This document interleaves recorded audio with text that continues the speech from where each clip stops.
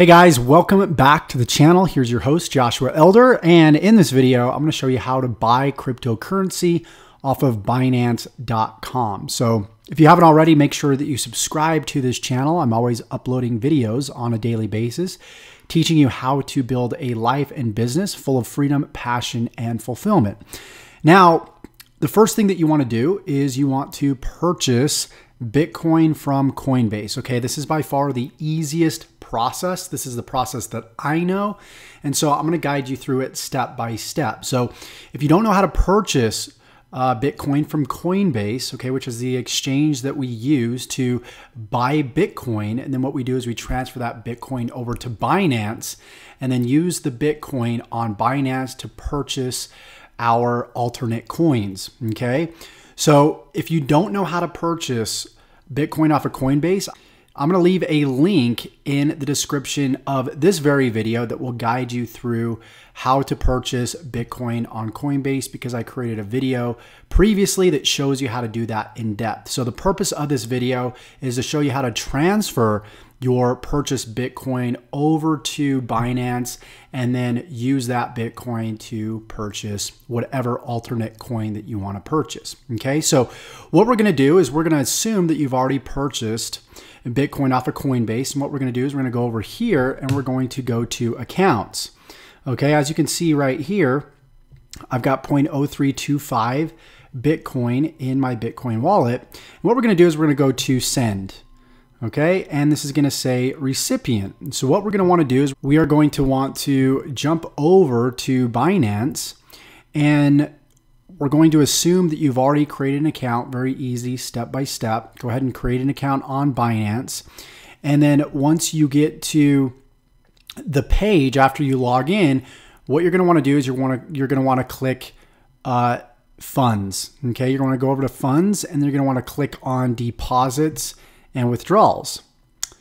Okay, and then it's going to show you all the different coins, right? And then we have our respective investments, our total balance in each of these coins. And then right here where it says Bitcoin, what we're going to want to do is we're going to want to click deposit right here. Then it's going to give you this deposit address. What we want to do is we want to copy this address. Right, we're going to go ahead and copy it. We're going to jump back over to Coinbase and we're going to enter it right here. All right, and then we're going to select our amount. So let's say that we wanted to transfer over $200 USD, which is 0.0134 in Bitcoin. And then I will put a note here that's basically like, you know, telling, reminding myself what this, uh, what I did with this Bitcoin. So we're just going to put Binance transfer. And then we're going to select continue. Okay, I'm actually not going to do that right now because I've already transferred uh, Bitcoin over to uh, Binance. But you're going to notice here that there's a network fee, okay? $15.58, and you have your total right here. So once you select continue, it will take about two to three confirmations from the blockchain to verify the deposit over here. Once the deposit is verified, you'll notice that your um, your balance will decrease over here and then your balance will increase over here and the total balance will change. Okay, so once we've done that, we've waited, typically can take anywhere from a few minutes to a few hours to even sometimes days depending on the exchange. Uh, I really haven't had any problems.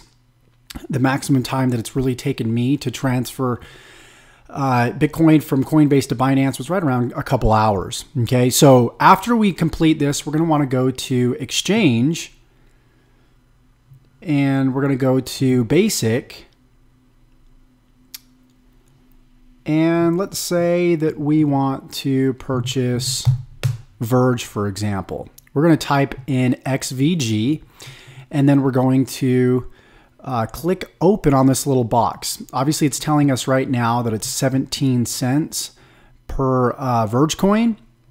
And we're going to go ahead and we're going to click that open box. And this is basically how I do it. And then it will show you right here, buy XVG with your Bitcoin balance. So let's say, you know, we wanted to buy, you know, five shares in Verge or five coins, right? Then we just select buy XVG and boom, your order is placed. Then you can go and jump over here to order history.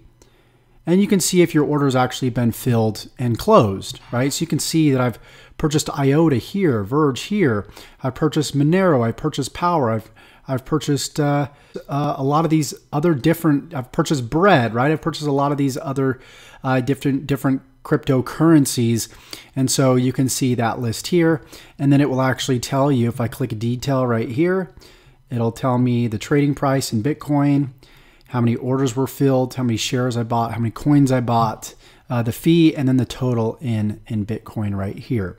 All right, and then I can use like an Excel spreadsheet.